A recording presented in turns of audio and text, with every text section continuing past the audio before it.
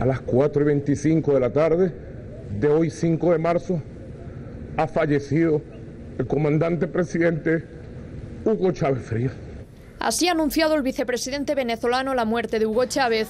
Visiblemente emocionado, Nicolás Maduro se ha dirigido a la nación desde el vestíbulo del Hospital Militar de Caracas, donde Chávez se encontraba ingresado desde el pasado 18 de febrero.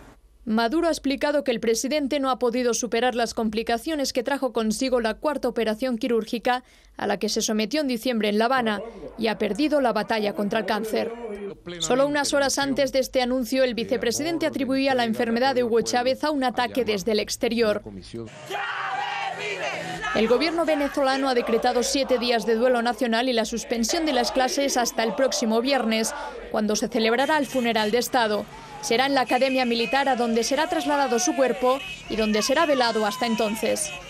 La Casa de los Sueños Azules, la cuna de la revolución bolivariana, como lo expresó el comandante presidente Hugo Chávez en muchas oportunidades.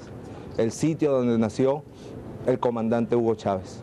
Nicolás Maduro ha ordenado además un dispositivo militar y policial especial para garantizar la paz del país. Nos encontramos en este momento en proceso de despliegue para garantizar la soberanía, la seguridad de todos los ciudadanos venezolanos.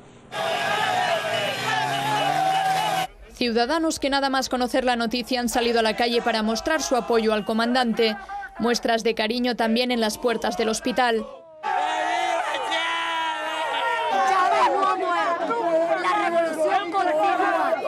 Nuestro líder, nuestro máximo comandante, nuestro guía en este proceso revolucionario. Tras la muerte de Chávez, el vicepresidente venezolano Nicolás Maduro asume el mando del país.